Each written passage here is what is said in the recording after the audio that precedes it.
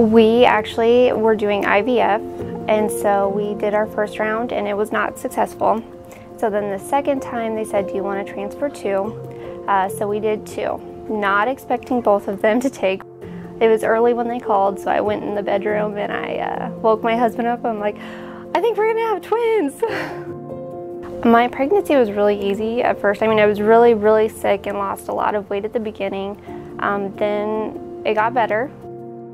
So we went in for a regular checkup and we would have been at 30 weeks. And then Dr. Jorgensen came in and said that my levels, my protein levels were off the charts and that I was going to the hospital that day. Uh, they were going to give me two rounds of a steroid shot to help develop the girls' lungs and that they would be born on Friday, which was two days from then. Uh, well, when they were first born, they both cried, which was great. But because they were so early, they knew that they were going to need a lot of care. So when they came back, they did have to go on oxygen. They had to have an IV. They had to have a feeding tube. Everything has been super amazing. I mean, the staff here is great. And so they did really well with me, very attentive the whole time. Um, for the girls, they actually had a team for each one. So each one had a pediatrician, they had a nurse. I mean, there were so many people in the room. I don't know who all was in there, but they each had their own teams. I mean, they make you feel like part of the family. They come in and they talk to you, they talk to your kids, they treat their kids like they were their own, I feel like. They're just very attentive, they talk to the girls. I mean, they just make us feel like family. They've been doing amazing. We get told all the time how well they're doing and how they're exceeding expectations. Um, so far, no real complications. They can hear, they've done the hearing test, they've done the eye exam, their eyes look good. So um, I actually had advice from a friend and they said just to go day to day.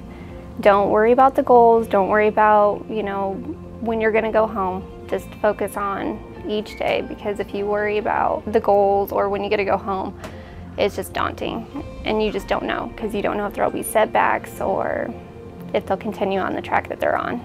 You know, different birth weights are good. Like on the pictures back there, you can see, oh, I'm four pounds and I'm three pounds, and those were big ones. But some of the other ones that most people would be like, why are you excited about that? Is pooping. Like we were so excited when they would poop just because that was something else that you had to worry about. Like if something wasn't working correctly with their digestive system and so just the little things that most people take for granted, you get super excited about.